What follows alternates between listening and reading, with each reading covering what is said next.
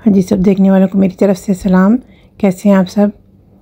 यहाँ पे आज मैं केक वाली स्वीट डिश बना रही हूँ और आइसक्रीम वाली।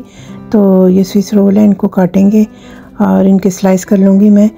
तो आपने देखा, मैंने प्याले में पहले ये ट्रांसपेरेंट शीट लगाई है। तो वो ज़रूरी है प्याले में रखना, उसको शीट्स को, ताकि जब हम इसे उल्टाएँगे तो आसानी से निकल आएगा उसमें से केक। तो ये स्लाइस करके पहले मैं रख ली हैं। अब क्योंकि मैंने इसे डोम की शक्ल देनी है एक तो इसलिए मैं इसको इस प्याले में इसे इसकी सेटिंग कर लूँगी सारे स्लाइसेस की। और अच्छी तरह करीब करीब करके रख रही हूँ ताकि बहुत ज़्यादा गैप ना हो इनमें स्लाइसेस में। तो बस इसको ऐसे करके इसको मैं थोड़ी देर के लिए फ्रिज में रख दूँगी। और यहाँ पे फिर मैं अब उसके लिए आइसक्रीम के लिए चीज़ें तैयार करने लगी हूँ। तो ये हंड्रेड एम एल मिल्क है और एक सैशी है विपिंग पाउडर का। तो इसको मैंने अच्छे से बीट किया है, तकरीबन एक मिनट में, डेढ़, दो मिनट में ये बीट हो जाती है अच्छे से। तो इसको अच्छी तरह बीट कर लिया है। अब मैं इसमें शामिल करूँगी ये क्रीम है। हैवी विप ये हैवी क्रीम है विपिंग क्रीम नहीं है। और इसके साथ ही ये चीज़ है। तो ये चार पीस मैंने इसके ट्रायंगल के डाले हैं इसमें।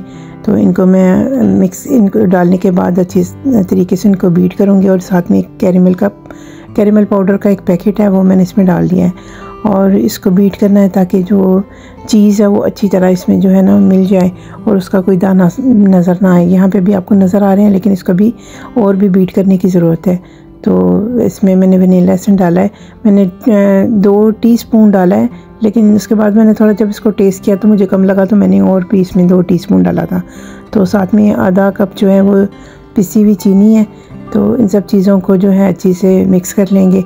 और जितना मिक्स करेंगे इसको तो ये काफ़ी जो है ना वो विप होके काफ़ी फ्लफ़ी सा हो जाएगा, यानी काफ़ी ज़्यादा इसकी मकदार हो जाएगी। तो अब इसमें मैंने आधा कप दूध डाला है। ये खुश्क दूध है पाउडर दूध है जो इसमें डाला है। इसको भी अच्छी तरह मिक्स करेंगे। और अगर आपको लगता है कि इसमें आपको दूध का फ्लेवर जो है वो इतना पसंद नहीं है तो फिर दूध ज़्यादा ना डालें, दो टेबल स्पून दूध डाल। तो मैंने इसमें दूध डाला और उसके बाद मुझे थोड़ा सा इसमें दूध का टेस्ट ज़्यादा लगा तो मैंने दो टीस्पून वनीला लहसुन और इसमें शामिल कर लिया था। तो इसको अच्छे तरीके से बीट कर लिया है तो ये देख लें, ये तैयार हो गई है। अब मैंने इसके दो फ्लेवर करने हैं, एक तो वनीला फ्लेवर हो गया और दूसरा मैंने इसमें चॉकलेट फ्लेवर करना है। तो मैंने इसमें कोको पाउडर डाला एक टीस्पून एक टेबल स्पून डाला है और इसमें मैं डालूँगी साथ में दो टेबल स्पून नटेला डालूँगी। तो उसको इस, इसको भी बीट कर लिया है। अब ये दो फ्लेवर की जो है ना मेरे पास क्रीम तैयार हो गई है। और अब इसको मैं इसमें थोड़ा सा क्रंच देने के लिए मैंने इसमें कोई भी आप बिस्किट ऐड कर सकते हैं। मैंने डाइजेस्टिव बिस्किट हैं, वो चार बिस्किट इसमें ऐड किए हैं और इनको बिल्कुल पाउडर नहीं बनाया थोड़ा सा क्रंची रखा है ताकि जब इसको आइसक्रीम को आप चबाएँगे, खाएँगे तो थोड़ा क्रंच भी आएगा साथ में। तो यहाँ पे केक अब मैंने फ्रिज से निकाल लिया और इसके ऊपर शुगर सीरप है, वो मैंने इसके ऊपर डाला इसको मॉइस्ट करने के लिए और क्रीम डाल दी है, जो भी मिक्सर मैंने क्रीम का बनाया था और इसको ऊपर तक अच्छी तरह जो है मैं कर रही हूँ, फैला रही हूँ ताकि ये अच्छी तरह फैल जाए और इसमें एक लेयर रखी है केक की ताकि दोनों क्रीम्स आपस में मिक्स ना हो। तो ये एक लेयर इसमें मैंने ये रख दी और इसके ऊपर अब दूसरी क्रीम डाल रही हूँ और इसको भी अच्छे से मैंने फैला दिया है। आपस में मिक्स नहीं किए हैं, बस दो लेयर लगा लिए मैंने। तो इसको अच्छी तरह मिक्स करने के बाद इसको फ्रीज़र में रखना है और फ्रीज़र में तकरीबन सात आठ घंटे या उससे भी ज़्यादा जितना टाइम आप दे सकें ओवरनाइट रख सकें तो वो ज़्यादा अच्छा है।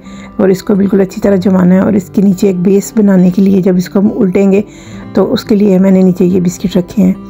तो आप भी रख सकते हैं, अगर आपके पास केक है तो आप केक की लेयर ही नीचे लगा सकते हैं। जो टॉप पे लेयर है, वो बाद में नीचे वाली लेयर हो जाएगी। तो ये आठ दस घंटे के बाद जब इसको हमने रेडी किया है और निकाला है इसको फ्रिज से फ्रीज़र से निकाला है तो ये हमारी एक दावत थी जिसमें मैं ये स्वीट डिश लेके गई हूँ। तो उसमें ये केक तो देखें, कितने अच्छे तरीके से जो है वो सेट हो गया हुआ है और कितना खूबसूरत लग रहा है।